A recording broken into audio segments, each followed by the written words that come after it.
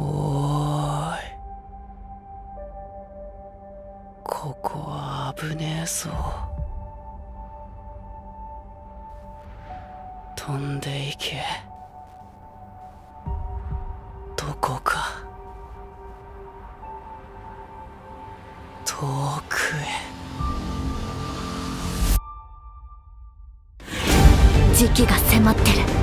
次の戦士が選ばれるんだ。鎧の巨人の継承者が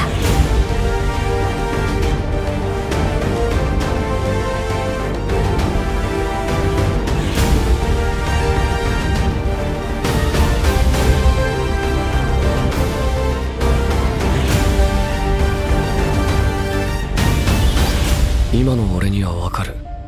お前たちは世界を救おうとした。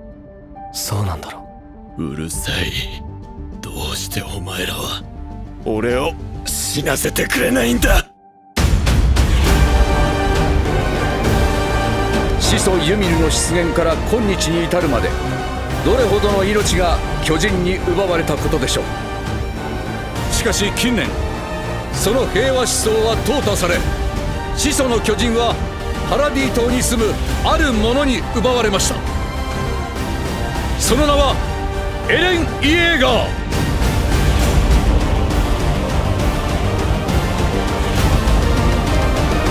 今ここに宣言します。